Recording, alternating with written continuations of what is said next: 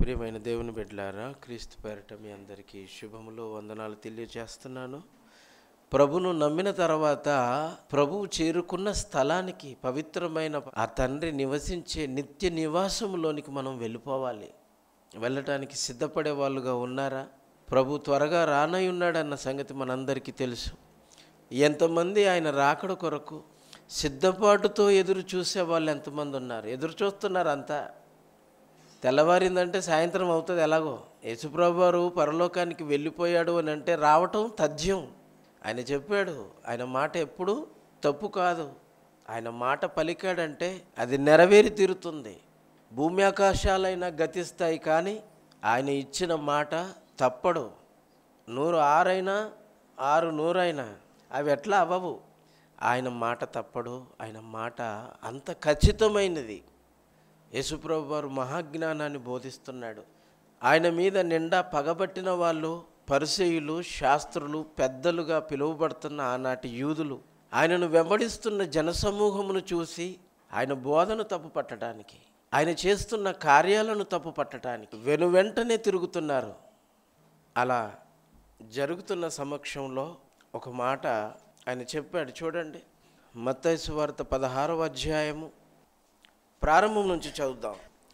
అప్పుడు పరిసయులను సద్దుకేయులను వచ్చి ఆయనను శోధించుటకు ఆకాశములో నుండి ఒక సూచక క్రియను మాకు చూపించండి.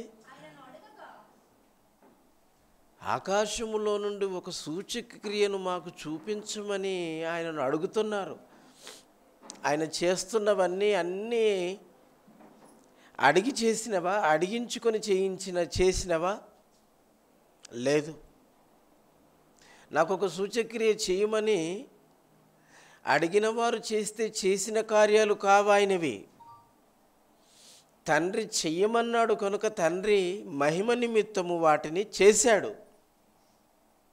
ఆయన ఏది చేసినా ఏది చెప్పినా తండ్రి ఆజ్ఞ ఉంటుందన్న సంగతి మర్చిపోవద్దు మనం. తండ్రి ఇష్టమే తనకు ఇష్టం. తండ్రి ఇష్టమే తన ఇష్టం. నాకంటూ ఏ ఇష్టము లేదు అని అన్నాడు. చూసారా ఎంత మంచి క్యారెక్టర్ అండి యేసుక్రీస్తుది. మనం పసిపిల్లలకు ఏ ఇష్టం ఉండదు. జర మాటలు వచ్చాయంటే జిద్దు చేసి అడిగింది ఇయ్యకపోతే మనల్ని వెంపుకు తింటారు పిల్లలు. మొన్నటిదాకి మాటలు వచ్చేసిన తర్వాత మనల్ని తినేస్తారు వీళ్ళు. వాళ్ళు అడిగింది ఇవ్వాలి. ఇవ్వకపోతే పేచి. ఎంత పేచి పెడతారంటే ఇక చేయి చేసుకునే స్థితికి వస్తారు పిల్లలు. మొండిఘటాలు అంటాం వాటిని. ఒక ఇష్టం వారిలో పుడుతుంది ఆ ఇష్టం నెరవేరాలి. ఇది పసితనంలోనే పసిపిల్లలకు. ఇలా ఇష్టాలు ఏజ్ పెరుగుతూ ఉంటే మనిషిలో తమ ఇష్టమే నానుకుపోయింది పాతుకుపోయింది. అదే మొక్కై మహామ్రాణై ఈరోజు మనిషిని ఏలుతుంది. నా ఇష్టం. నా ఇష్టం అంటారు మాటికి ముందు నా ఇష్టం నా ఇష్టం. చూసారా మనుషులకు తమకంటూ ఒక ఇష్టాన్ని ఎంతగా ఇష్టంగా పెంచుకుంటున్నారో ఎంత ఇష్టంగా దానిని నెరవేర్చుకుంటున్నారో మనందరికీ తెలుసు. కానీ యశుప్రభు వారికి తండ్రి ఇష్టమే. తండ్రి ఇష్టమే ఆయనకి ఇష్టం. ఆ తండ్రి ఏది చెబితే అది చెయ్యాలి. చచ్చిపోనాయన ఈ లోకం కోసం అంటే చచ్చిపోవటానికి వచ్చాడు. ఎంత మంచి కొడుకండి. అంత ఉన్నతమైన కుమారుని మన కొరకు ఎందుకు చచ్చిపోమన్నాడు ఆయనను? చచ్చే ముందు ఇలా కళ్ళు తెరిపించిన ఆయన అన్నాడు. వారి స్థితిగతులు గుర్తించేటట్లు చేయని ఆయన అన్నాడు. వారికి జ్ఞానోదయం కలుగునట్లు జ్ఞానయుక్తమైన సంగతులను చెప్పు అన్నాడు. వారు వెలుగును చూచినట్లు మహా అద్భుతములను చూపించు నాయన. నీ మహిమను చూపించు నీ శక్తిని చూపించు నీ పవిత్రతను చూపించు. నీ మాటలో ఉన్న మంచితనాన్ని చూపించు. నీ ప్రవర్తనను చూపించు లోకానికి. నీవే ఈ లోకానికి ఒక మాదిరి. నేను నిన్ను పంపుతున్నాను అని ఆ తండ్రి తన కుమారుని లోకానికి పంపాడండి. ఆ మహనీయుడు లోకానికి వచ్చి అంధకార సంబంధమైన చీకటిలో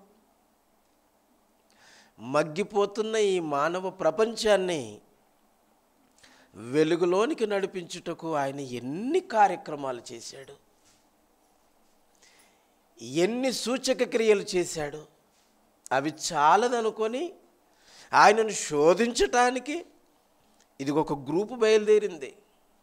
రెండు గ్రూపులు. ఒకరు సర్దుకయ్యలు మరొక గ్రూపు పరిచయులు వీళ్ళిద్దరూ ఒకరికి ఒకరు భిన్నం. ఒకరు ఆత్మ ఉందని నమ్ముతారు దేవుడు ఉందని నమ్ముతున్నారు.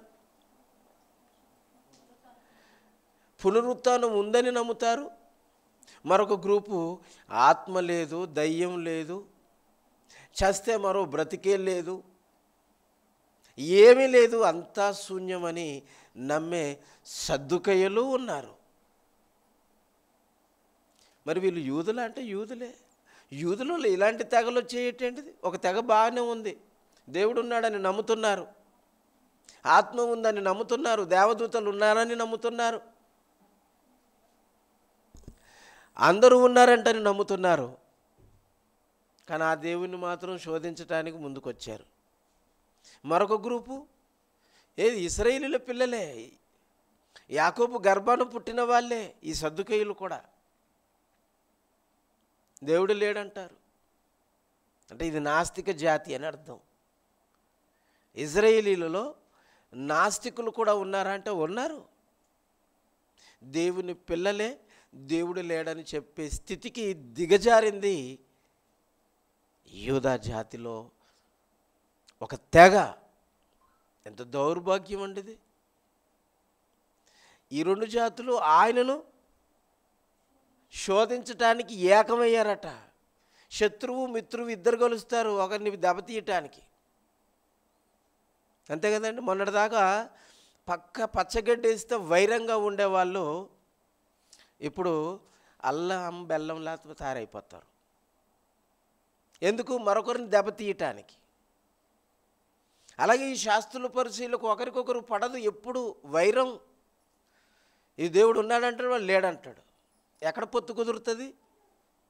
మరి వీళ్ళు ఇప్పుడు ఇద్దరు ఒకటైపోయి యేసుక్రీస్తును శోధించటానికి. ఆయనను శోధింప తరగ ఏమండి?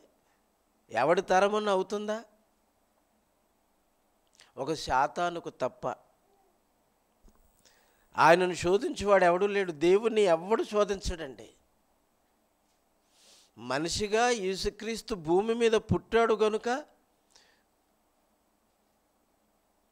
ఆయనను శోధించటానికి దుష్టుడు అపవాది ఏకాంతంగా అరణ్యంలో ఉన్నప్పుడు శోధించటానికి వచ్చాడు శోధకుడు. మనం చదువుకున్నాం. ఇదిగో వాడి వాడి ప్రోద్బలముతోటే వాడి ప్రోత్సాహముతోటే ఈ రెండు గ్రూపులు ఒకటై దేవాది దేవుని కుమారుడైన క్రీస్తును శోధించుటకు ఆయన ఎద్దుకు వచ్చి తమకు అంటే మా గ్రూపులకి ఈ సర్దుకయ్యుల గ్రూపులకి ఈ పరిచయుల గ్రూపులకి కనువింపు కలిగి చేయనట్లు మమ్మల్ని రంజింప చేయనట్లు ఆకాశంలో నుండి ఒక సూచక క్రియను తమకు చూపుము. మాకు చూపించయ్యా. నీ పవర్ ఏంటో మేము చూస్తాము. ఏ ఇంతకు మునుపు చేసినవన్నీ చూడలేదా?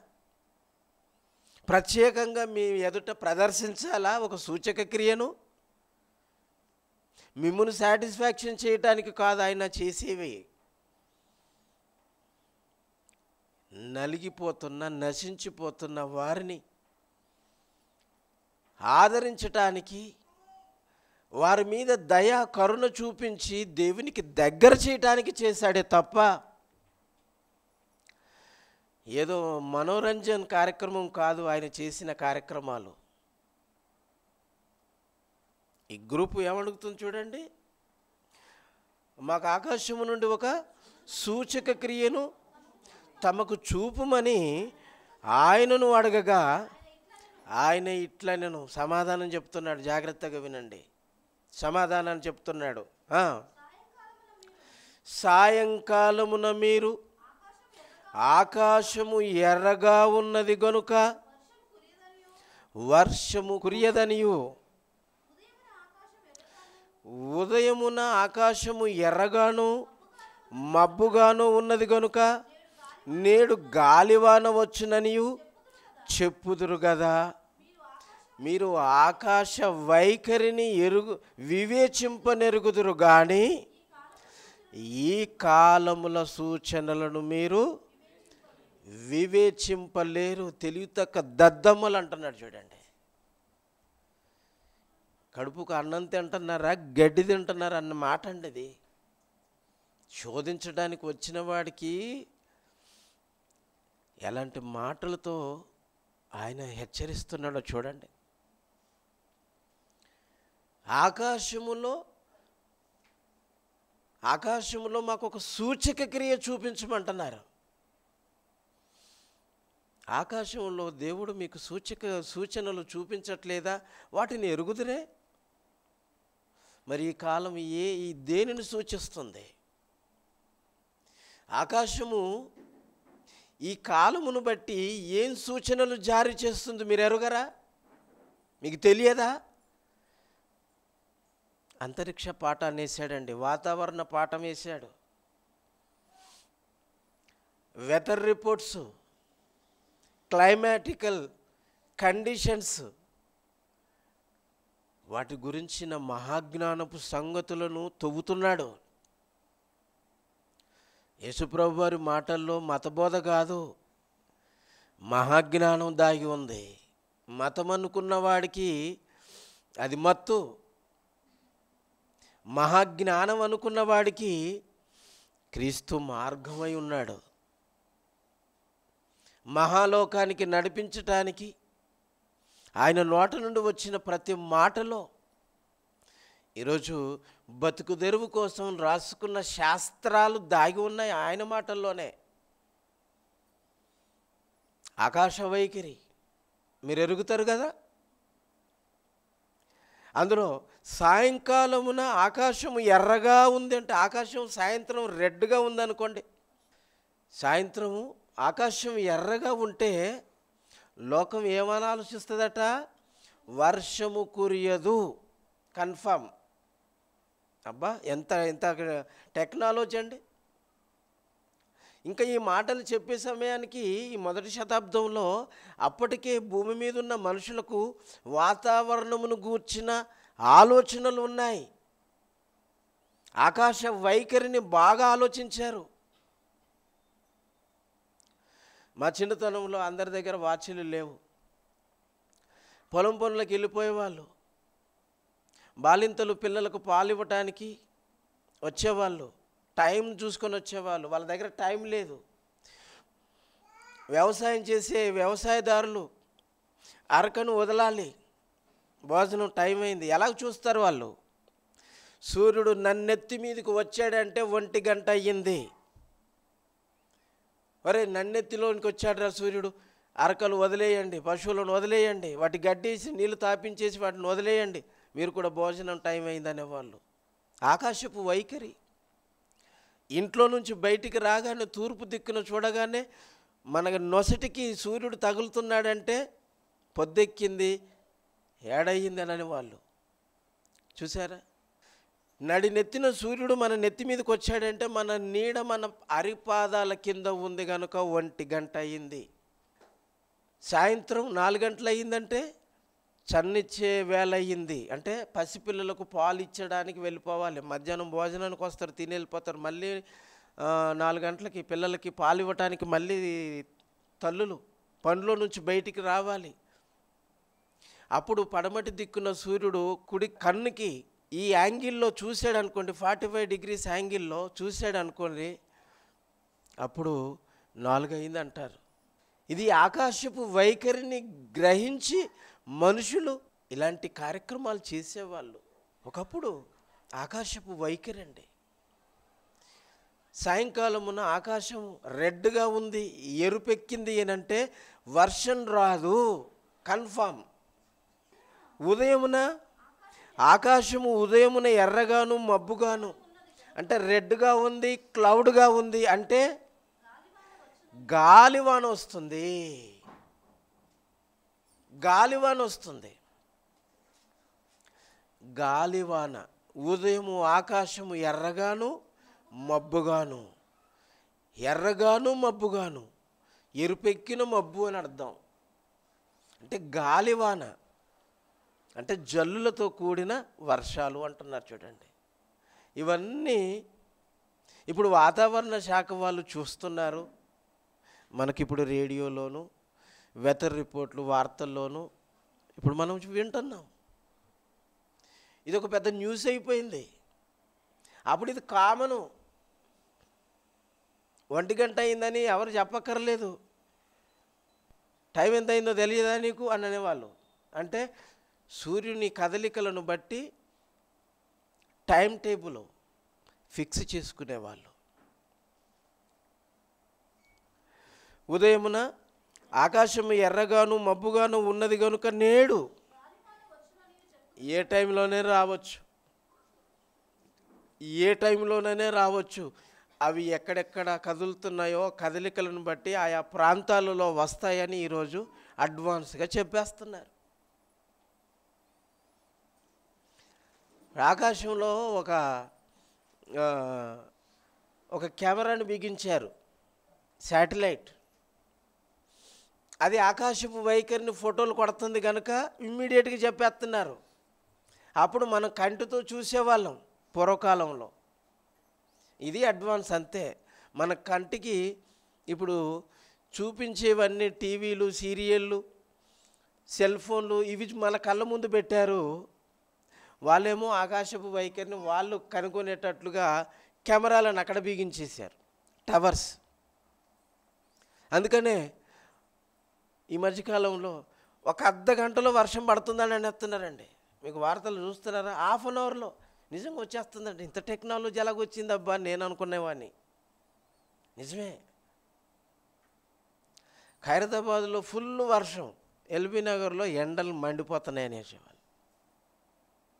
ఏమండి? అక్కడక్కడ వర్షాలు అక్కడక్కడ ఎండలు అక్కడక్కడ గాలివాన అక్కడక్కడ మబ్బులు. అంతా ఒక చోట ఒకటిగా లేదండి. చూసారా? ఇది ఆకాశపు వైఖరిని. దీని గురించి మాట్లాడుతూ లూకసు వార్త. లూకసు వార్త పన్నెండవ అధ్యాయం చూడండి. లూకసు వార్త పన్నెండవ అధ్యాయం యాభై నాలుగు నుంచి యాభై నాలుగు నుంచి. మరియు ఆయన జనసమూహములతో ఇట్లనను మీరు పడమటి నుండి మబ్బు పైకి వచ్చుట చూచినప్పుడు వాన వచ్చుచున్నదని వెంటనే చెప్పుదురు. అలాగే జరుగుతుంది. దానికి ఒక కండిషన్ ఉంది. దానికి ఒక కండిషన్ ఉంది. టర్మ్స్ అండ్ కండిషన్స్ ప్రకారంగా దేవుడు ఆకాశానికి ఒక వైఖరిని ఒక రూల్స్ అండ్ రెగ్యులేషన్స్ని పెట్టాడు కనుక అలాగ జరుగుతుంది. దానిని జరుగుతున్న దానిని పదే పదే మీరు చూశారు కనుక మీరు చెబుతున్నారు. అదే చెప్తున్నాడు. పడమటి నుండి మబ్బు పైకి వచ్చుట పడమటి నుండి మబ్బు పైకి వచ్చేస్తుంటుంది కమ్ముకుంటూ వచ్చేస్తుంది. చూస్తుండగానే మళ్ళీ మొత్తం టోటల్గా ఆకాశం అంతా మబ్బు కమ్మేస్తుంది.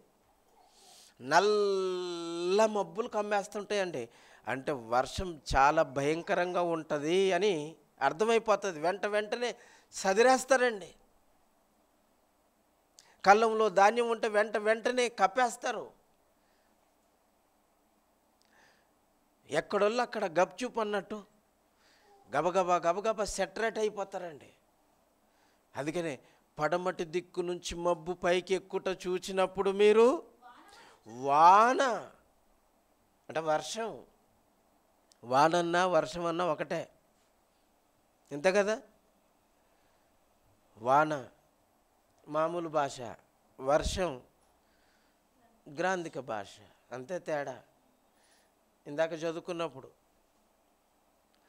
పైకి వచ్చినప్పుడు వర్షం కురియదనియు ఎరుగుదుము చదువుకున్నాం.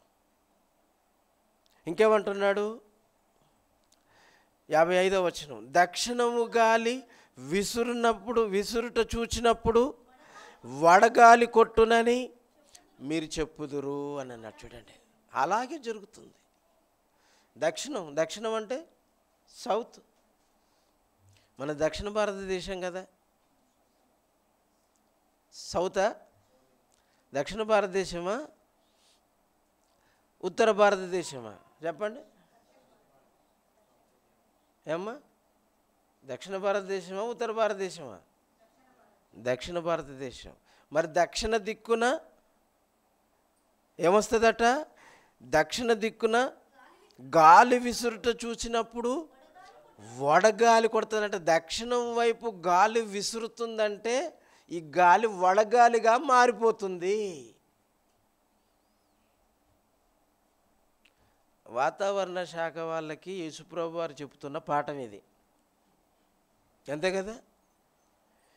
దక్షిణ దిక్కున ఉన్న గాలి బాగా విసురుతుంది అనుకోండి మనం గాలి లేనప్పుడు ఏం చేస్తాము? విసనకర్రతోటి గాలి విసురుగా ఉంటాం ఏది దొరకకపోతే చేతిలో పేపర్ ఉందనుకోండి పేపరు లేకపోతే పైట ఉందనుకోండి పైట ఖర్చీపు ఉందనుకోండి ఖర్చీపు వేడెక్కిపోతుంది. ఈ వేడెక్కువైనప్పుడు గాలి దేవుడు విసరజేసాడు అనుకోండి ఈ వేడి కాస్త వేడిగాలై వడగాలై కొట్టుతుందట వడదెబ్బ కొడుతుందట చూడండి. వడదెబ్బ కొట్టుతుంది. వేడిగాలి చేత ఏమొస్తుంది మరి? వేడిగాలికి ఏమవుతారు? వడదెబ్బ కొడుతుంది. వడదెబ్బ తగిలిన వాళ్ళు ఎలాగుంటారు వాళ్ళ పరిస్థితి? బ్రతుకుతారో చస్తారో కూడా తెలియదండి. వడగాలి పీల్చుకోవటం వడగాలికి కళ్ళు ఎర్రబడిపోవటం. ఏమంటే ఎప్పుడు చెమ్మగా ఉండే కళ్ళు ఆ కళ్ళు కాస్త ఈ వేడి గాలికి ఆవిరంతా ఏది నీరంతా ఆవిరైపోయి ఎండుకుపోయి కళ్ళు ఏమండి నరాలు పనిచేయని నక్తనాళాలు కూడా డ్రై అయిపోయినాయి అనుకోండి కళ్ళు పనిచేయవండి. కళ్ళు బైర్లు కమ్ముతాయి ఎండ దెబ్బకి. లోపలికి గాలి వేడికి వెళ్ళిపోయి మనం పీల్చుకునే గాలి లో లోనకి వెళ్ళిపోయి ఊపిరితిత్తులను కూడా వేడెక్కించేస్తుంది. శరీరము కూడా వేడెక్కటం వలన రక్తం మరిగిపోతుంటుంది. రక్తనాళాలు ఎక్కడికక్కడ గడ్డలు కట్టిపోతాయి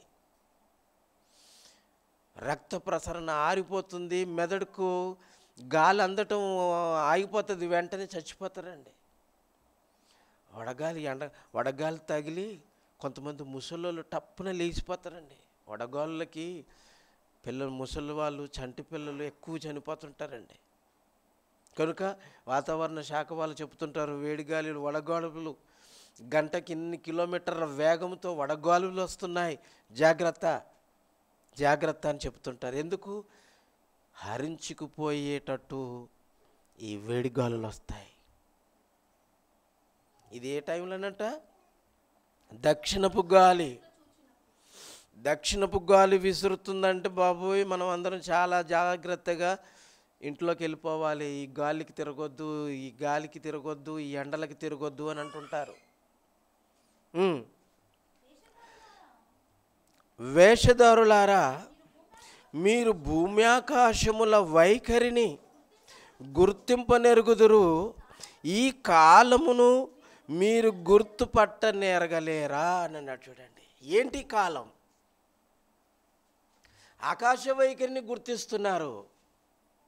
ఏ టైంలో ఎలా ఉంటుందో దానిని అంచనా వేసి జాగ్రత్త కలిగి ఉంటున్నారు.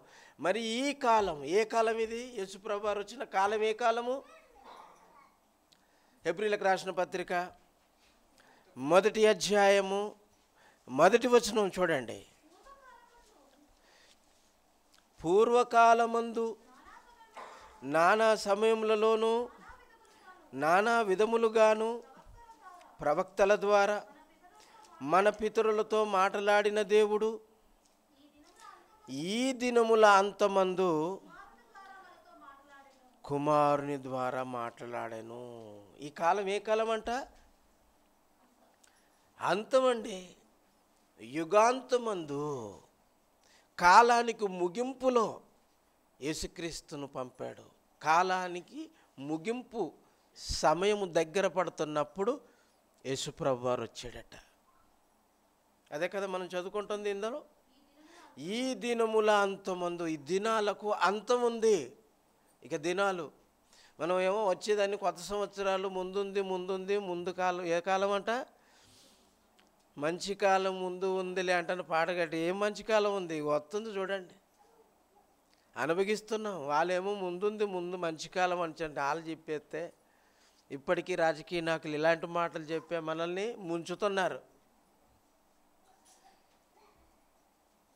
యేసుప్రభు వారు ఈ భూమి మీదకి వచ్చిన కాలము అంతము కాలానికి అంతము ముందొచ్చాడు.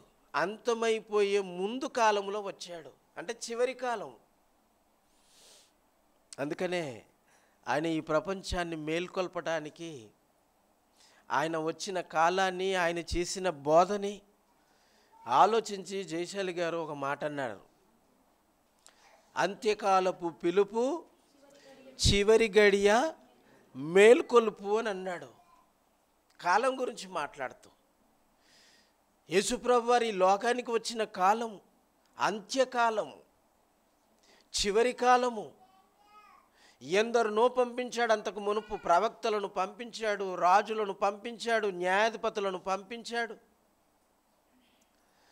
ప్రవక్తనీలను పంపించాడు. చివరికి తన కుమారుని పంపించాడు. ఆయన కుమారుడు లోకానికి వచ్చినప్పుడు ఈ కాలము వైఖరి మీరు గుర్తింపనెరగలేరా అని అన్నాడు చూడండి.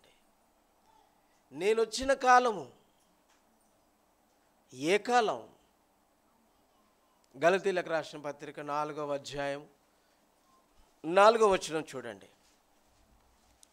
గలతీలకు రాసిన పత్రిక నాలుగవ అధ్యాయం నాలుగవ వచనం. అయితే కాలము పరిపూర్ణమైనప్పుడు దేవుడు తన కుమారుని పంపెను. కాలము పరిపూర్ణమైనప్పుడు పంపాడటండి. అంటే అంత్యదినములలో కాలము పరిపూర్ణమైంది ఏ రకంగా పరిపూర్ణమైంది అనుకుంటున్నారు పాపము హండ్రెడ్ పర్సెంట్ పండింది. యేసుప్రభు వారు లోకానికి వచ్చిన కాలమందు పరిపూర్ణమైందంట కాలం. ఎలా పరిపూర్ణమైందో దానికి డెఫినేషన్ ఇచ్చాడు రోమపత్రిక మూడవ అధ్యాయము పదకొండు నుంచి పదమూడు వచనాలు చదువుదాం. నీతిమంతుడు లేడు ఒక్కడు లేడట చూడండి యేసుప్రభు వారు భూమి మీదకి. ఆయన స్త్రీ ఎందు పుట్టినప్పుడు అదొక సూచన మనకి. అంతే కదా? ఆకాశములో ఒక నక్షత్రము సూచన ఆయన పుట్టాడని. కన్యక గర్భవతి అయి కుమారుని కనును అనేది ఒక సూచన స్త్రీకి పుట్టటం. ఈ సూచనలు కూడా మర్చిపోయారు. ఇక ఆయన చేస్తున్న కార్యాలను బట్టి కళ్ళు తెరిచిన వారుగా జ్ఞానోదయం కలిగిన వారుగా ఉండక ఆయనను శోధించటానికి సిద్ధపాటు పడి మూర్ఖులందరూ ఒక చోటికి చేరి మహనీయుని శోధించటానికి వచ్చారు. అప్పుడు ఇవన్నీ చెబుతున్నాడు ఆయన.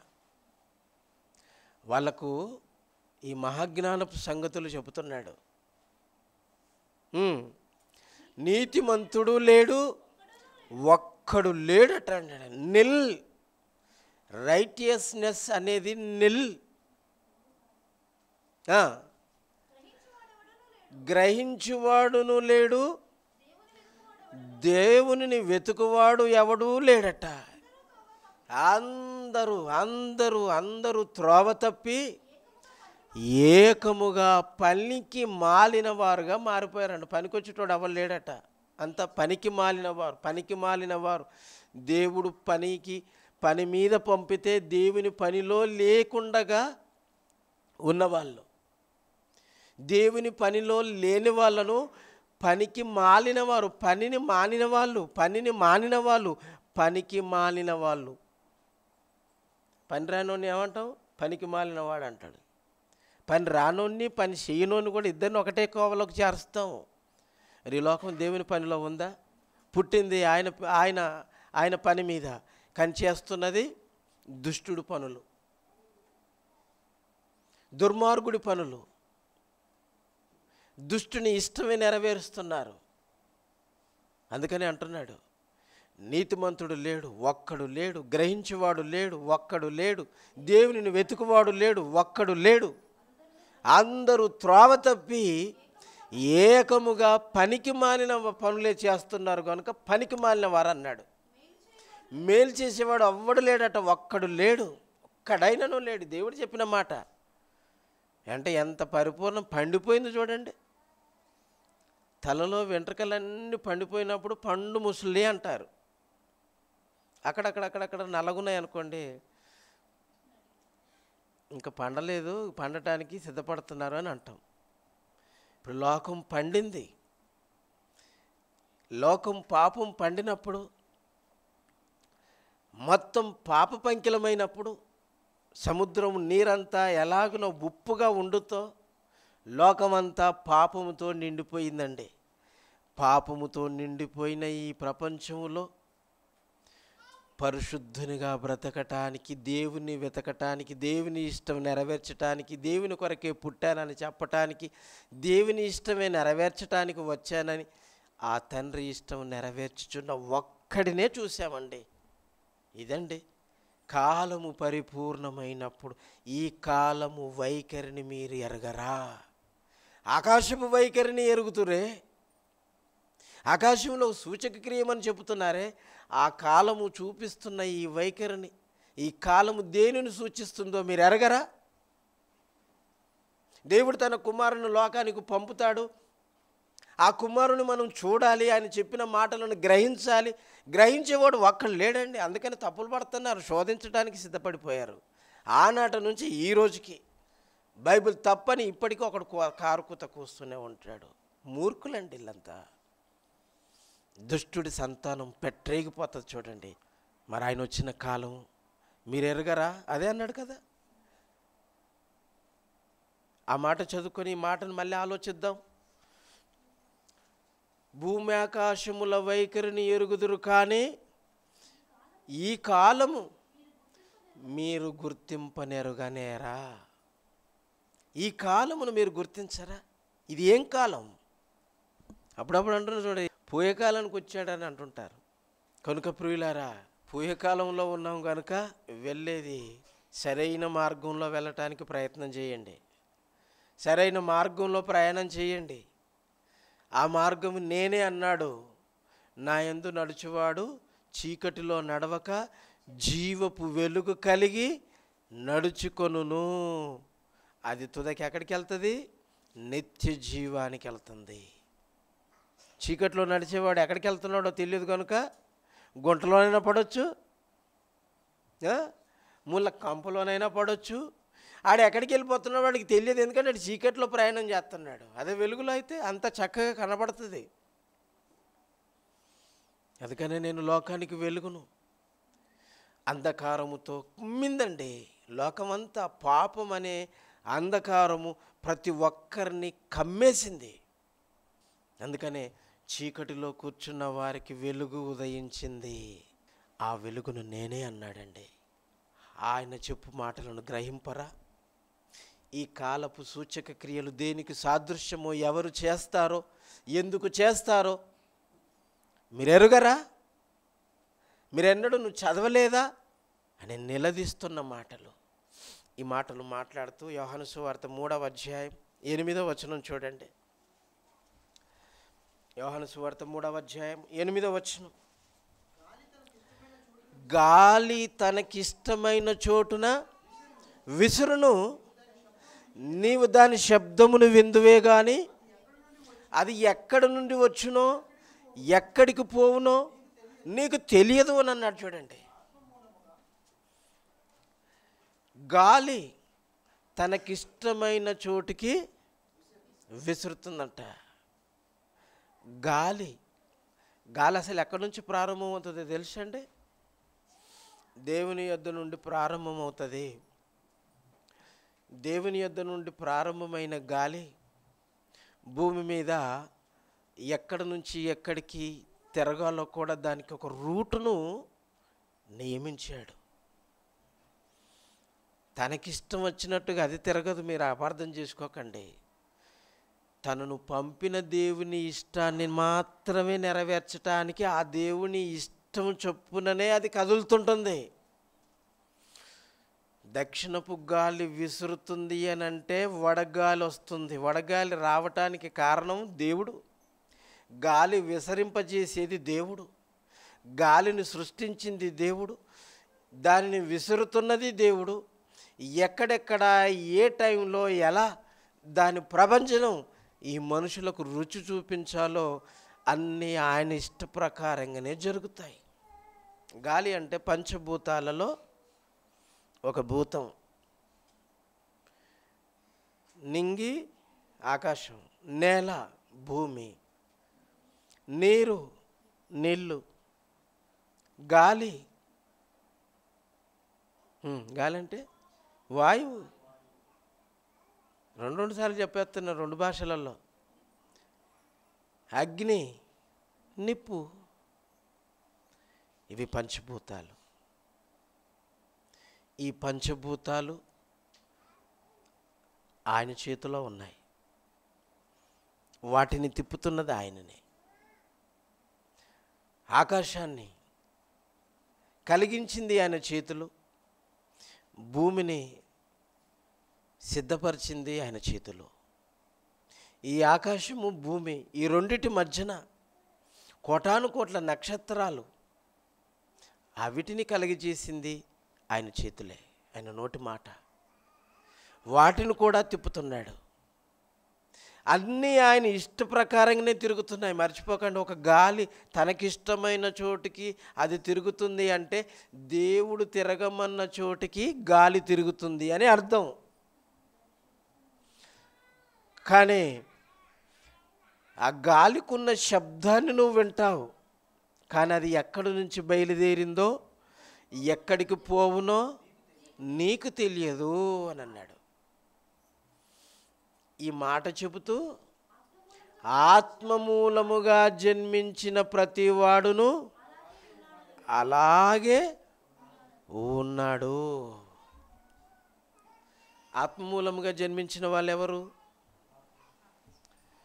మొదటి అధ్యాయం. ఇదే యోహాను సువార్త మొదటి అధ్యాయం పదమూడవ వచనం చూడండి. వారు దేవుని వలన పుట్టిన వారే కానీ రక్తము వలననైనను శరీరేచ్ఛల వలనైనను మనుష్యేచ్ఛల వలనైనను పుట్టినవారు కారు. దేవుని వలన పుట్టినవారు. భూమి మీద పుట్టిన వాళ్ళందరూ దేవుని వలన పుట్టారు. కానీ ఇక్కడ చెబుతున్నది ప్రత్యేకమైన జన్మ గురించి చెబుతున్నాడు. పుట్టినవారు మరలా పుట్టుతున్నారు. పుట్టిన ఈ బ్రతుకులోనే పాపముల విషయమై మరణించి పాపముల విషయమై మరణించి తిరిగి జన్మించిన వారు అంటే బాప్తిజమము ద్వారా తిరిగి జన్మించిన వారు గురించి మాట్లాడుతున్నాడు. అలాగ బాప్తిజమందు తిరిగి జన్మించిన వారు దేవుని మూలముగా పుట్టిన వాళ్ళు. దేవుని మూలముగా పుట్టిన వాళ్ళు. ఇప్పుడు బాగా ఆలోచించండి. దేవుని మూలముగా పుట్టినవారు. బాప్తిస్మందు పుట్టడం అంటే ఏంటిది చెప్పండి? బాగా ఆలోచించండి. ఒక మంచి పాయింట్ తెగ్గొడతాను ఇక్కడ. మంచి పాయింట్ తెగ్గొడతాను. బాగా జాగ్రత్తగా ఆలోచించండి. బాప్తిస్మము మనం తీసుకోవటానికి ముందు మనలో ఏం జరుగుతుంది? మనలో ఏం జరుగుతుంది? మార్పు జరుగుతుంది. మారు మనసు కలుగుతుంది. మారు మనసు వచ్చినప్పుడే బాప్తిజం తీసుకుంటాం. మరి మారు మనసు రావటానికి మారు మనసు అంటే మనసు మార్చుకోవటానికి కారణం ఏంటి? వాక్యం. వాక్యం విన్నాము. వాక్యము వినటం వలన విశ్వాసము పుట్టింది. విశ్వాసము పుట్టిన తర్వాత ఆ విశ్వాసం అందు మనకు మనసు మారింది. విశ్వాసము పుట్టింది మనసు మారింది మరో జన్మ ఎత్తాము. ఈ మరో జన్మ ఎత్తటానికి మారు మనసు ఆ మారు మనసుకు ముందు విశ్వాసము. ఈ విశ్వాసము మనిషిలో కలగాలంటే వాక్యం వినాలి. ఏ వాక్యం వినాలి? క్రీస్తును గూర్చిన వాక్యము వినాలి. మరి ఆ వాక్యం ఏమైంది? ఆ వాక్యం ఏమైంది? దేవుడై ఉన్నాడు. మరి సుప్రభర్ దేవుడు కాదంటారు ఏంటండి బుద్ధిహీనులు అజ్ఞానులు మూర్ఖులు ఉన్నది అర్థం చేసుకోవటానికి తమకున్న జ్ఞానం సరిపోదండి. వాక్యాన్ని వాక్యంతో అర్థం చేసుకోవాలి. వారు దేవుని వలన పుట్టినవారు దేవుని వలన పుట్టినవారు వాక్యము వలన పుట్టినవారు మనం వాక్యం వింటేనే విశ్వాసము పుట్టింది విశ్వాసము వలన మారు మనసు కలిగింది. ఆ మాను మనసు పాపక్షమాపణ నిమిత్తము బాప్తిజము మందు మరలా జన్మింపచేసింది. ఇదంతా దేవుని వలన జరిగింది. వాక్యం. వాక్యం లేకుండా ఎవడు బాప్తిజం తీసుకోలేడు. వాక్యం వినకుండా బాప్తిజం ఎవరు తీసుకోలేరు. వాక్యం విని బాప్తిజం తీసుకున్నవాడే సరైనవాడు దేవుని మూలంగా పుట్టినవాడు. ఈ వాక్యం వినకుండగా దేవుని వలన పుట్టకుండా మరొక రకంగా పుడుతున్నారు ఈ మధ్యకాలంలో చాలామంది. అది ఎలాగంటే సాక్ష్యాలు వినటం వలన వారికి విశ్వాసం పుట్టింది. కడుపులో గడ్డ అయ్యింది కరిగిపోయింది నాకు మారు మనసు వచ్చింది. ఏమండి? గడ్డ కరిగిపోతే మారు మనసు వచ్చిందా? అందుకే నేను దేవుణ్ణి నమ్ముతున్నాను అంటే బాప్తీసం తీసుకుంటావా? మళ్ళీ గడ్డ అవుతుంది. మళ్ళీ అసలు తగ్గదు. ఏం చేస్తావు? ఏం చేస్తావు చెప్పు. కోర్టులో కేసు గెలిచారు. ఊరికనే గెలిచావా? లాయర్కు డబ్బులు పోయలే? కోర్టులో అంతా డబ్బులు పోతేనే అవుతుంది. డబ్బు పెట్టకపోతే ఏది కాదు. కోర్టు అంటేనే డబ్బు. అక్కడ ఉండేటోళ్ళు పెద్ద మనుషులను ఏమంటారు? లాయర్స్ అంటారు. లాయర్స్ అంతా మాట్లాడేది లయర్. అబద్ధమే మాట్లాడతారు. ఎక్కువ అబద్ధమే గెలుస్తుందండి. అందుకని న్యాయదేవతకు కళ్ళు లేవంటని ఆ, గుడిది. న్యాయదేవత గుడ్డిదైపోయింది కానీ మన దేవుడు న్యాయవంతుడు. ఆయన కళ్ళు తెరుచుకొనే ఉంటాడు. ఎవరేం చేస్తున్నారో అసలు హృదయాలలో ఎలాంటి ఆలోచనలతో ఉన్నాడో పట్టేస్తాడండి. ఆయన న్యాయ దేవుడు. ఆలోచించండి. సాక్ష్యాలను విని అందుకని ఎక్కువ సాక్ష్యాలు వాక్యం చెప్పరండి. సంఘంలో వాక్యం చెప్పరండి. ఒకరిని చూసి ఒకరు అమ్మో వాళ్ళ సాక్ష్యం ఇంత గొప్పదైతే ఇంకొక ఆయన గురించి చెప్తాడు ఇంకొక ఆయన సాక్ష్యం చాలా గొప్ప సాక్ష్యం అంటాడు. ఈ వారం అనౌన్స్మెంట్ చేస్తాడు వచ్చే వారం ఆయన సాక్ష్యం విందామని. సాక్ష్యం. ఎవడికి కావాలి నీ సాక్ష్యం? వాక్యమే మనకు సాక్ష్యం. అపోస్తులు వాక్యం కోసమే సాక్ష్యం ఇచ్చారు ఆ వాక్యమే క్రీస్తు. వాక్యం కోసం నువ్వు సాక్ష్యం ఇవ్వు. వాక్యం ఇది కరెక్ట్. దక్షిణమున గాలి విసురుతుందంటే వడగాలి వస్తుంది ఇది వాక్యం చెప్పింది. అలాగనే జరుగుతుంది కనుక మీరు చెబుతున్నారు అని అన్నాడు. మీరు చెబుతుంది కనుక అలాగ జరుగుతుంది అనలేదు యేసుప్రభు వారు అలాగున జరుగును గనుక మీరు చెబుతున్నారన్నాడు లోకం చెప్పిన మాటని చెప్పలేదు. అలాగ జరుగుతుంది కనుక మీరు చెబుతున్నారు. వాక్యాన్ని విని విశ్వసించి మారు మనసు కలిగి నీటి మూలముగా జన్మిస్తే అప్పుడు వాళ్ళు దేవుని మూలముగా జన్మించిన వాళ్ళు. ఇప్పుడు చెప్పండి.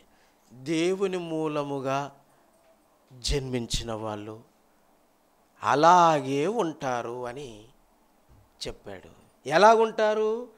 గాలి తనకిష్టమైన చోటుకు విసురును.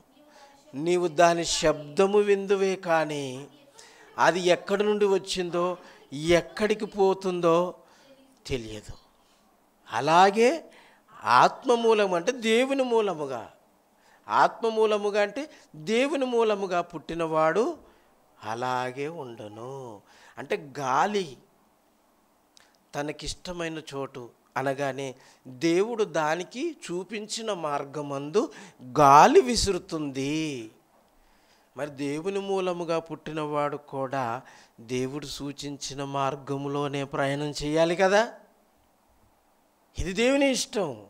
గాలికి దేవుని ఇష్టం ఉంది దేవుని మూలముగా పుట్టిన వానికి దేవుని ఇష్టమే ఉండాలి తప్ప నా ఇష్టం అనకూడదు. నా ఇష్టం అనకూడదు. నా ఇష్టం అని నువ్వు అనుకుంటివా? ఒక ఆయన బ్రతికాడట ధనవంతుడు మీ అందరికీ తెలుసు. తన ఇష్ట ప్రకారమే బ్రతికాడటండి చూడండి. తన ఇష్ట ప్రకారమే బ్రతికాడట. తన ఇష్ట ప్రకారమే లేచాడు తన ఇష్ట ప్రకారమే తిన్నాడు తన ఇష్ట ప్రకారమే పనులు చేశాడు తన ఇష్ట ప్రకారమే సంపాదించుకున్నాడు సంపాదించుకుంది తన ఇష్ట ప్రకారమే ఖర్చు చేసుకున్నాడు. హాయిగా సుఖంగా చక్కగా ఏ రోగం రాకుండా వచ్చిన టక్కున వైద్యం చేయించుకొని బ్రహ్మాండంగా బతికాడు. టప్పున ఒకరోజు చచ్చిపోయాడు. చచ్చిపోయి ఎక్కడికి వెళ్ళాడు పాతాళంలో యాతన పడుతున్నాడు. అగ్ని జ్వాలలలో యాతన పడుతున్నాడట. ఆయన ఇంటి ముందే ఒక భిక్షగానిగా ఒక బెగ్గరుగా బెగ్గర్ కంటే దారుణంగా ఒక లాజరు గేటు ముందే పడిపోయి ఉన్నాడట. ఎన్ని రోజుల నుంచి పడిపోయి ఉన్నాడో మనకు తెలియదండి. ఆ గేటు ముందు పడుకొని ఆయన ఇంటి ముందర కూడా కుక్కలు కాపలా ఉంటాయి కదా. కుక్కలు నాకుతున్నాయటండి. ఆయన తినగా పడిన ముక్కలను తిందామనుకుంటే తనకంటే ముందుగా కుక్కలు వెళ్ళిపోయి తింటున్నాయట. ముక్కలు తినటానికి కూడా శక్తి లేని అభాగ్యుడిగా ఒక రోగిష్టిగా ఉన్నాయండి ఒక ముక్క చేతుల్లో పట్టుకున్నాడంటే ఆయన చేతుల్లో నుంచి కూడా ముక్క తినేస్తే ఆ చేతులకున్న కురుపును కూడా నాకేసేట ముక్కను తిన్న తర్వాత కురుపును నాకాయి. కురుపు నాకితే ముక్క కంటే కురుపే టేస్ట్గా ఉందంటని కుక్కలు నాకే అంటారు. నాకుతుంటే ఆయన నాకించుకున్నాడండి. ఎందుకంటే జంతువుల నాలుకలు చాలా బరుసుగా ఉంటాయి దురుసుగా ఉంటాయి. ఉప్పు కాగితం ఉంటుంది చూడండి. పంచర్ చేసినప్పుడు టైర్కి ఉప్పు కాగితంతో రాస్తారు కంటే బరుసు బరుసుగా ఉంటుంది. దాని నాలుకలు కూడా అలాగే ఉంటాయి. ఏమంటే గేదెలు ఆవులు మేకలు ఉన్నప్పుడు వాటి నాలుకలన్నీ బరుసుగా ఉంటాయి. ఈసారి ఎప్పుడైనా బెరపాలు తెచ్చుకుంటారు కదా ఒకసారి వెళ్ళి దాని దగ్గర నిలబడండి అది మీ కాలు నాకేస్తుంది గోకినట్టు ఉంటుంది. ఆ కురుపులను నాకుతుంటే ఆయనకు ఆహాహా స్వర్గంలో తేలినట్టు ఉంటుంది. ఎందుకంటే అది దొరద. ఎంత దొరద కలిగిన రోగం అండి అతనికి. ఇతను కూడా ఒకరోజు చనిపోయాడు. చనిపోయి అబ్రహాము రొమ్మున ఆనుకొని సుఖంగా ఉన్నాడటండి. హ్యాపీగా ఉన్నాడట. ఏంటి నా గేటు ముందల బికారిగా ఒక అభాగ్యుడిగా ఎవరు లేనివాడుగా పట్టించుకునేవాడు నా అన్నవాడు ఒకడు లేడు. నేను తినగా పడిన ముక్కలను తినటానికి ఆశపడిన ఆ అభాగ్యుడు ఏంటి మహా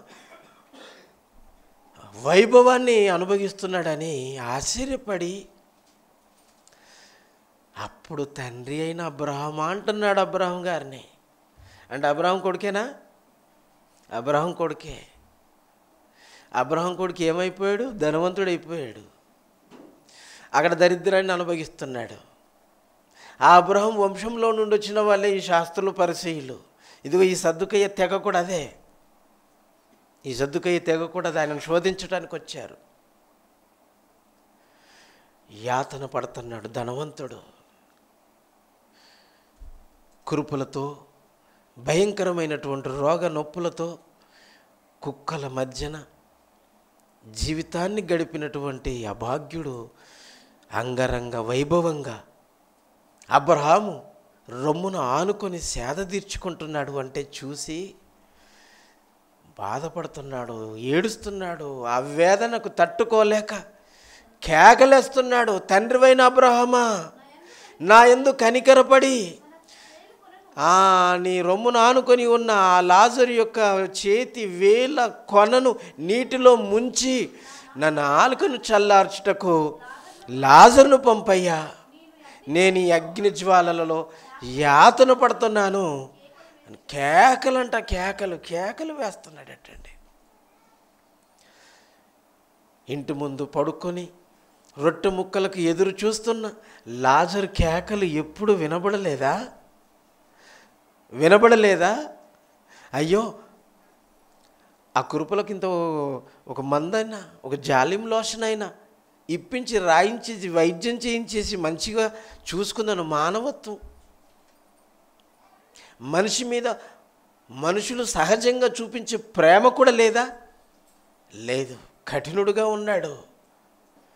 అందుకనే అబ్రహాం అన్నాడు కుమారుడా ఓన్లీ ఒకే మాటతోటి ఎక్కువ మాట్లాడరండి. నీవు నీ జీవితకాలమందు నీకిష్టమైనట్టు సుఖమును అనుభవించితివి అలాగుననే లాజరు కష్టం అనుభవించనని జ్ఞాపకం చేసుకొని ఆయన ఇది బైబిల్ ఉపదేశం దేవుని ఉపదేశం. పాతాళములో ఈ ఒక్కడికి మాత్రమే ఉపదేశం ఇవ్వబడింది మార్చిపోకండి. పరదైసులో నుండి ఎవరితో మాట్లాడినట్టుగా మనకి ఎక్కడ రాయబడలేదు. అగ్ని జ్వాలలలో యాతన పడుతున్న వారి కేకలు విని విని విని విని చెవులు మూసుకున్నారే తప్ప ఎవరి కేకలకు సమాధానం రాలేదు అబ్రహం ఎవ్వరికి ఇవ్వలేదు. కానీ ధనవంతుడికి తండ్రి అయిన అబ్రహమా అని కేకలు కేకలు వేస్తే ఎవడబ్బా వీడు ఇంతగానం బుర్ర తింటున్నాడని అలా తొంగి చూశాడట కొడుకుని భుజాన్ని ఎత్తుకొని. చూసారా అలాగని ఇష్టగోష్ఠి పెట్టలేదు. అలాగని అడిగిన వరము తీర్చలేదు. వేలి కొనను నీటిలో ముంచి చల్లార్చటానికి పంపాలా? రూల్స్ ఒప్పుకోవు నాయన. భూమి మీద నీ రూల్స్ ఉన్నాయి. నీ ఇష్టం వచ్చినట్టు బ్రతికావు కదా? అది జ్ఞాపకం చేసుకో అన్నాడండి. సింపుల్గా అది ఒక్కటే జ్ఞాపకం చేసుకోమన్నాడు. ఇప్పుడు మనం ఇష్టం వస్తే సంఘానికి వస్తాం కష్టమైతే రాము అంతే కదా? మానొద్దు అని మాత్రం దేవుడు చెప్పాడు. మానాలో మానొద్దో నీ ఇష్టం. స్వాతంత్రం ఇచ్చాడు కదా? స్వాతంత్రం ఇచ్చాడా లేదా? ఇచ్చాడా లేదా? రమ్మని మాత్రం ఆజ్ఞ ఇచ్చాడు. వస్తావో రావో నీ ఇష్టం అని అన్నాడు. మీ ఇష్టం అన్నాడు కాబట్టి ఇంకేంటి? మన మన చాయిస్ అనుకొని మానేస్తలేరా చెప్పండి? మానేస్తలేరా? దేవుని మాటను వినకుండా నువ్వు చేసేది ఏంటిది? ఆ దేవుడికి చేసేది ఏంటి చెప్పండి? దేవుడి మాట వినకుండా దేవుడికి నువ్వు చేసే మంచి ఏంటిది చెప్పండి? నాకు ఒక మాట చెప్పండి. నేను ఈరోజు సంఘానికి రాకుండా నేను ఇది మంచి పని చేశాను అని అంటావా? ఏది చెప్పండి? ఏది చెప్పండి? మా ఇంటికి వచ్చిన చుట్టానికి వాక్యం చెప్పాను. వాక్యం చెప్పావు. బాగానే ఉంది. మరి సహవాసానికి మానొద్దు అని ఇచ్చిన ఆజ్ఞ కొరకు నువ్వేం సమాధానం చెప్తావు? చెప్పు. నీ దగ్గర ఏ సమాధానం ఉంది? ఏం సమాధానం ఉంది? ఈ తోట చెట్లల్లో ప్రతి చెట్టు ఫలములను నిరభ్యంతరంగా తినండి. ఇదొక్కటి మాత్రం తినొద్దు అని అన్నాడు. ఇది తింటే చచ్చిపోతావు అని అన్నాడు. రిజల్ట్ కూడా చెప్పాడు. తింటా వత్తైనవో నీ ఇష్టం. స్వాతంత్రం ఇచ్చాను. ఏం చేశారు? ఏం చేశారు? తిన్నారు. ఏమయ్యారు? చచ్చారు. మనకు చావు తెచ్చారు. మీరేమైనా ఇప్పుడు ఈ చావు నుండి తప్పించడానికి యేసుప్రభు వారు వచ్చాడు. మళ్ళీ ఆ జీవవృక్ష ఫలాన్ని మనకిస్తున్నాడు. జీవఫలం జీవం. వాక్యం అంటే ఏంటిది? జీవం. ఇది ఎక్కడి నుంచి వచ్చిందో ఎక్కడికి వెళ్ళిపోతుందో గాలి శబ్దాన్ని విందువు కానీ అది ఎక్కడి నుంచి వచ్చిందో ఎక్కడికి వెళ్తుందో నీకు తెలియదు అన్నాడు కానీ వాక్యం ఎక్కడి నుంచి వచ్చిందో నీకు తెలుసు. ఎక్కడికి వెళుతుందో తెలుసు. అయినా నువ్వు నమ్మవు. గాలి తనకిష్టం వచ్చినట్టుగా అది తిరుగుతుంది. దాని శబ్దమును విందువే కానీ శబ్దం అంటే మాట.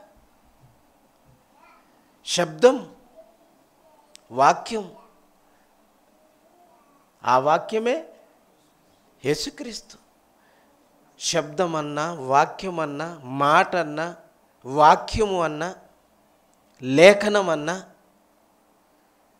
క్రీస్తేనండి. ఆ క్రీస్తు ఎక్కడి నుంచి వచ్చాడో మీరు ఎరగరా? ఈ కాలము వైఖరి భూమి ఆకాశముల వైఖరిని ఎరిగిన మీరు ఈ కాలము దేనిని సూచిస్తుందో మీరు ఎరగరా? నేను ఎక్కడి నుంచి వచ్చాను? ఎక్కడికి వెళుతున్నాను? ఎక్కడి నుంచి వచ్చానో ఎక్కడికి వెళతానో మీరు ఎరగాలి. నేను చెబుతున్న మాటలను బట్టి అని అన్నాడు. ఆలోచించండి. గాలికి తనకిష్టం వచ్చినట్టుగా తిరుగుతుంది అంటే దేవుని ఇష్టం గాలికుంది. ఆ శబ్దం వింటాము అమ్మో గాలిలాగా వెళ్ళిపోయింది అని మనం ఇటు పక్కనే నిల్చుంటాం. పైరు గాలి వచ్చేస్తుంది పిల్లగాలి వచ్చేస్తుంది అని తల్లి గాలి వచ్చేస్తుందని ఈ గాల్లోకి పేర్లు పెట్టుకోవడం మాత్రం వెన్నతో పెట్టిన విద్య మనకి. అంతే కదండి? పైరు గాలి అట అది ఎలాగుంటుంది చెప్పండి? పైరు మీదకి వాళ్ళు వచ్చే గాలి పైరు గాలి మరి పిల్లగాలి ఎక్కడి నుంచి వస్తుంది? పిల్లల మధ్యకి వెళ్ళి వస్తుంది కాబట్టి పిల్లగాలి అంటావా? పెద్దవాళ్ళ గాలి? అప్పుడప్పుడు గాలి మాటలు మాట్లాడతారు కదా. అని గాలి మాటలు తెలుసులే అంటాను. అంటే మనుషుల్లో నుంచి గాలి వస్తుంది. ఇవన్నీ తెలుసుకున్నారు కానీ వాక్యం యేసుక్రీస్తు. ఆ యేసుక్రీస్తుకు దేవుని ఇష్టం ఉంది. ఆ ఇష్టం గాలి తనకిష్టం వచ్చినట్టు తిరుగుతున్నట్టు వాక్యం అయిన క్రీస్తు భూమి మీదకి వచ్చి ఆయన కూడా తిరుగులాడుతున్నాడు. ఎక్కడెక్కడ తిరిగాడు? ఎరుషలేము దేశమంతా తిరిగాడు. సంచార మార్గమున ఆయన గ్రామములోను పట్టణములోను అరణ్యములోను సంచారము చేయుచుండెను. గాలి దేవుని ఇష్టానుసారంగా అది సంచారం ఎలాగ చేసి దేవుని ఇష్టాన్ని నెరవేర్చిందో ఆత్మ మూలముగా పుట్టినవాడు కూడా ఆత్మ అయిన దేవునికి ఉన్న ఇష్టాన్ని బట్టి వాక్యాన్ని చేత పట్టుకొని వీడు కూడా తిరగాలి. తిరుగుతున్నారా వాక్యం చేత పట్టుకొని? గాలికున్నటువంటి ఒక లక్షణం మీకు చూపిస్తాను చూడండి. కీర్తనల గ్రంథం యాభై అధ్యాయం మొదటి మూడు వచనాలు చూడండి. దేవాతి దేవుడైన యహోవా ఆజ్ఞ ఇచ్చుచున్నాడు. తూర్పు దిక్కు మొదలుకొని పడమటి దిక్కు వరకు భూనివాసులను రమ్మని ఆయన పిలుచుచున్నాడు. పరిపూర్ణ సౌందర్యము గల సియోనుల నుండి దేవుడు ప్రకాశించుచున్నాడు.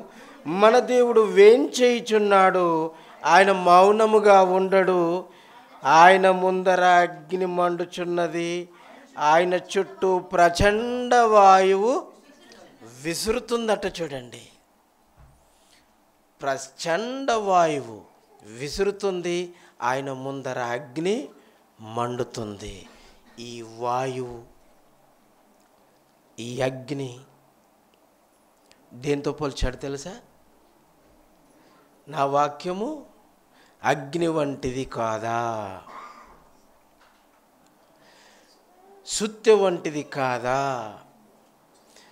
నా మాట బండ అంటే క్రీస్తు బండే కదా? బండ రాయి. ఖడ్గం అన్నాడు. ఆయన వాక్యం సియోనులో నుండి బయలుదేరుతుందట. ఆయన మౌనంగా ఉండడిగా. కాలం ఇంకా తక్కువ ఉంది. ఆయన వచ్చిందే చివరి కాలంలో వచ్చాడు. ఈ దినముల అంతమందు క్రీస్తుతో తండ్రి మాట్లాడి రాయించిన మహాజ్ఞాన గ్రంథాన్ని ఆయన మూలముగా పుట్టిన వారి చేతుల్లో పెట్టిన తర్వాత గాలికి తనకిష్టమైనట్టుగా తిరిగినట్లు ఆత్మ మూలముగా పుట్టిన ప్రతివాడును ఈ వాక్యాన్ని చేత పట్టుకొని నశించుచున్న దానిని వెతికి రక్షించుటకు భూమి అందంతట సర్వలోకమునకు వెళ్ళి సర్వ సృష్టికి సువార్తను ప్రకటించండి. ఇది దేవుని ఇష్టం కాదా చెప్పండి? సియోనులో అంటే సంఘములో దేవుడు మౌనంగా ఉండడు. ఆయన ముందర అగ్ని మండుచున్నది. ఆయన చుట్టూ ప్రచండ వాయువులు విసురుతున్నాయట అన్నాడు చూడండి. హెబ్రిలకు రాసిన పత్రిక మొదటి అధ్యాయం పద్నాలుగో వచనం చూడండి. హెబ్రిలకు రాసిన పత్రిక మొదటి అధ్యాయం పద్నాలుగో వచనం. వీరందరూ రక్షణయను స్వాస్థ్యము పొందు పొందబు వారికి పరిచారము చేయుటకై పంపబడిన సేవకులైన దేవుని ఆత్మలు కారా అని అన్నాడు చూడండి. సేవకులు. అగ్నిని ఏమన్నాడు? ముందు ముందు ముందు చూడండి ముందు వచనాలలో. దూతలను తన వాయువులుగాను అగ్ని జ్వాలలను తన దూతలను వాయువులుగాను తన సేవకులను అగ్ని జ్వాలలుగాను చేసుకున్నాడట. సేవకులను అగ్ని జ్వాలలు. అగ్ని జ్వాలలు అగ్నిలో కూడిన జ్వాల వాక్యం అండి. అంటే దేవుడు తన సేవకులను ఇదిగో అగ్నికుండే క్యారెక్టర్ కలిగిన క్యారెక్టర్తో పంపించేస్తాడు. తన సేవకులను అగ్ని జ్వాలలుగాను వాయువులను తన దూతలను తన దూతలను వాయువులుగాను చేసుకొని ఉన్నాడట. దూతలను వాయువులుగాను అగ్నిజ్వాలలను సేవకులనుగాను సేవకులను గాను చేసుకున్నాడట చూడండి. అంటే సేవకులు అగ్నిజ్వాలలుగా పనిచేయుచున్నారు. పని దూతలు వాయువులుగా పనిచేస్తున్నారు. యోహన్ గారి గురించి మాట్లాడుతూ యేసుప్రభు వారు ఇది తండ్రి అయిన దేవుడు ప్రవక్త చేత ఇదిగో నా దూతను ముందుగా పంపుచున్నాడు ఏ దూత చెప్పండి? గాలి అనుకుంటావా? అగ్ని అనుకుంటావా? వాయువు అనుకుంటావా? తన సేవకుణ్ణి దూతగా పంపుతున్నాడు. అంటే ఒక బాప్తిజం ఇచ్చి యోహాను యేసుప్రభు వారి కంటే ముందుగా మార్గమును సరళం చేయటానికి పంపబడిన దూత.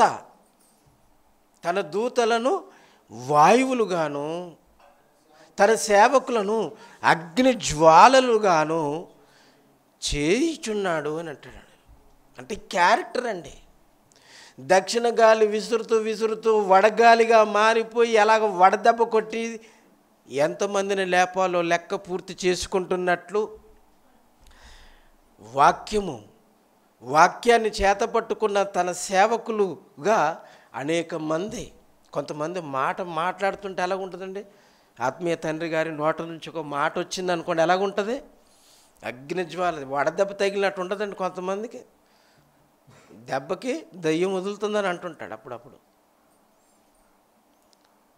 మనసులో ఉన్న చెడును అంతటిని మనము బయట పెట్టేసేసి దేవునికి సరెండర్ అయిపోవాలి అనే మనసు మనలో కలుగుతుంది అని అంటే అలాంటి మాట మనకు తగులుతుంది. వడగాలి తగలగానే ఒంట్లో ఉన్న రక్తమంతా ఎలాగా?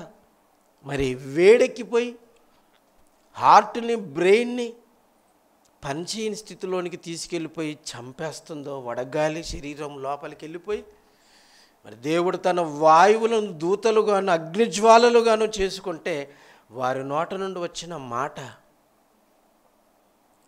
ఎలాంటి పరిస్థితుల్లోనైనా దేవుని వైపు మళ్ళించటానికి దేవునికి అనుకూలంగా మార్చటానికి ఆ మాటలు ఎంత బలమైనవిగా వీస్తుంటాయో ఒక్కసారి మీరు ఆలోచించండి. ఎక్కడి నుంచి ఏ దిక్కు నుంచి ఏ దిక్కు నుంచి అంట? దేవు యహోవ ఆజ్ఞ ఇచ్చుచున్నాడు తూర్పు దిక్కు మొదలుకొని పడమటి దిక్కు వరకు భూనివాసులను రమ్మని వాయుదూతలను పంపుతున్నాడు అగ్ని జ్వాలలను పంపుతున్నాడు. మీరు ఆలోచించండి. తూర్పు దిక్కు మొదలుకొని పడమటి దిక్కు. అంటే మనుషులందరూ ఏ దిక్కుల్లో ఉన్నారు? తూర్పు పడమర దిక్కుల్లోనే ఉన్నారు. మరి ఉత్తరం దక్షిణ దిక్కుల్లో ఎవరున్నారు? ప్రపంచానికి దిక్కులు ఎన్ని? నాలుగు దిక్కులు. చెప్పండి.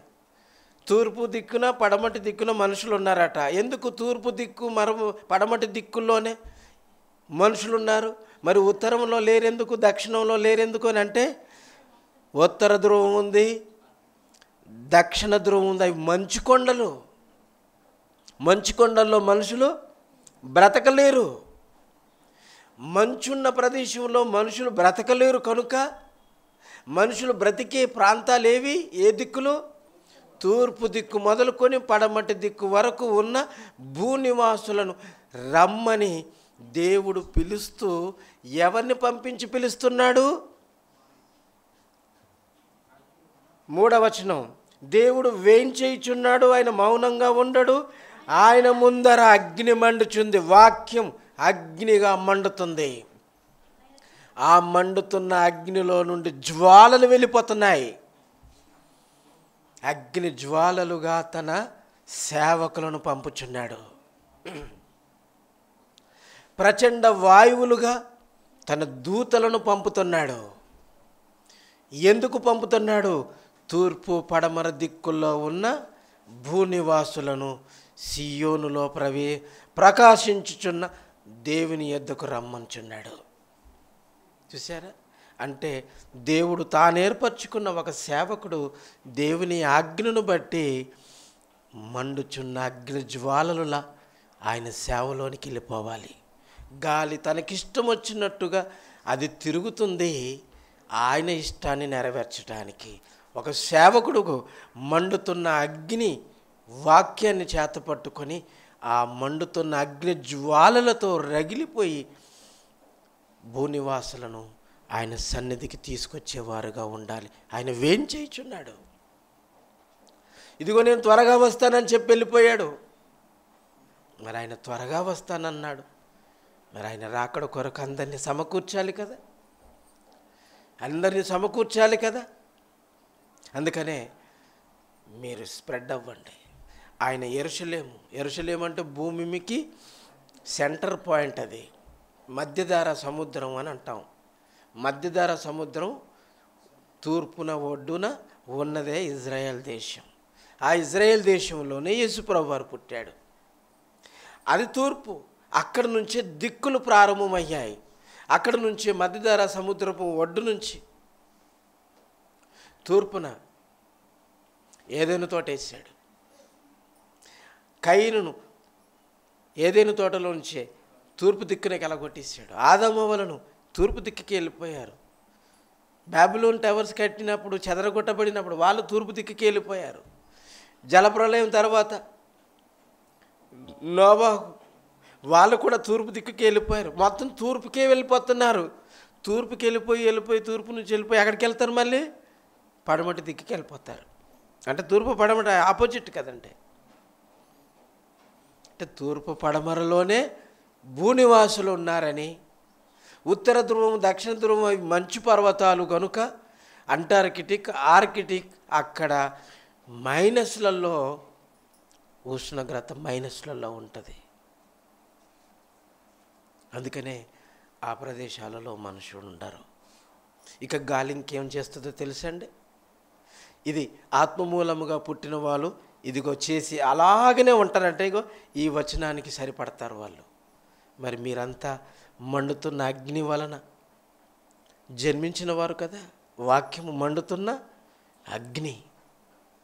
ఆయన ముందర వాక్యం మండుతుంది. ఆయన మాటలు మన హృదయంలో మీ హృదయంలో మండుచుండలేదా అని అంటాడు. యేసుప్రభు వారు తిరిగి లేచిన తర్వాత తన శిష్యులకు ఎమ్మ అయిన ప్రాంతంలో కలుసుకోవటానికి ముందుగా ఆయన అక్కడ వెళ్ళిపోతుంటే ఆ దారిలో వెళుతున్నటువంటి వారందరితో ఆయన కనపడకుండగా అంటే ఆయనను గుర్తుపట్టలేని పరిస్థితుల్లో ఉన్నప్పుడు మాట్లాడుకుంటూ వెళ్ళిపోతుంటే ఆయన మనతో ఉన్నప్పుడు చెప్పిన మాటలు మన హృదయంలో మండుచుండలేదా? ఆ మాట ఎక్కడుందమ్మా? లూకాసు వార్త చివరి అధ్యాయం. ముప్పై రెండవ వచ్చిన చూడండి. ముప్పై రెండవ వచ్చినాం ముప్పై ఒకటి ముప్పై రెండు. వారి కన్నులు తెరవబడి ఆయనను గుర్తుపట్టిరి. అంతటా ఆయన వారికి అదృశ్యుడు అంటే గుర్తుపట్టగానే అదృశ్యుడైపోయాడు. గుర్తుపట్టగానే అదృశ్యుడైపోయాడంటే అంటే మాయమైపోయాడు. అదృశ్యుడైపోయాడు. కనిపించకుండా వెళ్ళిపోయాడు గాలి మనకు కనిపిస్తుందా చెప్పండి? కనిపించదు. అది మనకు తాగుతుంటే గాలి వచ్చింది తెలిసింది అని తెలిసిపోయింది. ఎక్కడి నుంచి వచ్చాడు ఎక్కడికి వెళ్ళిపోయిందో గాలి దాని శబ్దం వింటాం కానీ మనము దానిని ఎక్కడి నుంచి వచ్చిందో ఎక్కడికి వెళ్ళిపోతుందో ఎరగము అన్నాడు. అదృశ్యుడయ్యను. అప్పుడు వారు ఆయన త్రోవలో మనతో మాట్లాడుచు లేఖనములను మనకు బోధించుచున్నప్పుడు మన హృదయము మనలో మండుచుండలేదా? ఆయన మనతో ఉన్నప్పుడు దారిలో వెళ్ళిపోతుంటప్పుడు దారిలో వెళుతున్న ఆయన ఎన్నో మాటలు చెప్పుకుంటూ వెళ్ళిపోయేవాడు యేసుప్రభు వారు ఎక్కడికి వెళ్ళిపోయినా కాలి నడకనే నడుస్తున్నాం కదా గంట మా మూతి నోరు మూసుకొని అలాగ అలాగ నడవమనలేదు మీరు కూర్చున్నప్పుడు త్రోవను నడిచినప్పుడు పడుకున్నప్పుడు లేచినప్పుడు కూర్చున్నప్పుడు మాటలే కదా. యేసుప్రభు వారు హండ్రెడ్ పర్సెంట్ ఆయన జీవితంలో నెరవేర్చాడండి శిష్యులతో అరణ్యంలో గుండకు వెళుతున్నప్పుడు మాట్లాడుకుంటూనే వెళ్ళిపోతున్నాడు. ఎన్నో సంగతులు చెప్పుకుంటూ వెళ్ళిపోతున్నాడు. ఆయన ఏమన్నాడు? ఆయన త్రోవలో మనతో మాట్లాడుచు లేఖనములను మనకు బోధించుచున్నప్పుడు మనం విన్న ఆ లేఖనములు లేదా మాటలు ఆ వాక్యములు మన హృదయములో మండుచుండలేదా అని ఒకనితో ఒకడు చెప్పుకొనిరి. మండుతుంటుందండి.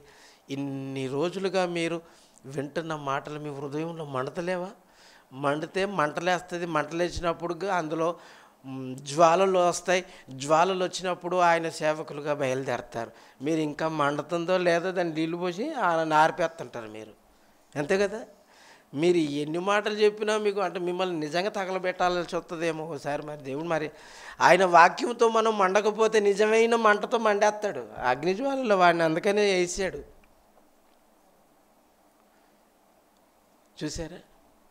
మీరు వాక్యంతో మండాలి లేకపోతే అగ్నిజ్వాలలో పాతాల మందుండు ఆ జ్వాలలతో మండబడడానికి వీల్లేదు సుమా. మీరు వాక్యంతో మండండి. మీ హృదయాలు మండాలి. హృదయములో నుండి అగ్ని జ్వాలలు బయలు వెళితే మీరు ఆయన తన సేవకులను అగ్ని జ్వాలలుగా పంపినట్టు తూర్పు దిక్కు మొదలుకొని పడమటి దిక్కు వరకు ఆయన జనములను పోగు చేయటానికి సర్వలోకమునకు వెళ్ళి సర్వ సృష్టికి సువార్తను ప్రకటించే ఆ భాగ్యాన్ని మండుచున్న హృదయములో నుండి వచ్చే జ్వాలల లాంటి మాటలతో మీరు బయలు వెళ్ళాలి. కొందరినైనా ఆ మండే గుండములో నుండి లాగినట్లు భూమి మీద నుండి ఒక్కరినైనా లాగండి. ఇదండి. ఇదండి ఆయన వాతావరణంలోని మాటలు. ఆకాశపు వైఖరిని మీరు ఎరుగుదురు కానీ ఈ కాలము ఈ కాలములో నన్ను పంపిన నా తండ్రి నా మాటలను జ్వాలలుగాను వాయువులుగాను చేసుకొని ఆత్మమూలముగా జన్మించిన వాడు అలాగే ఉంటాడని ఎంత ఆత్మీయమైనటువంటి బోధగా మార్చాడు చూడండి.